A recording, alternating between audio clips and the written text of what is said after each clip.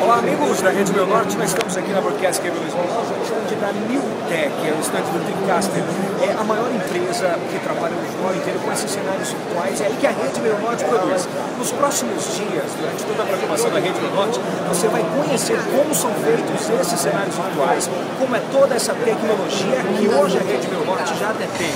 Olha, um grande lançamento, daqui a poucos minutos a Miss Universo estará aqui mostrando como foi feita transmissão do Miss Universo para todo mundo. Ela vai estar mostrando aqui com todos os detalhes e a gente vai estar mostrando para você na Rede Meu Norte.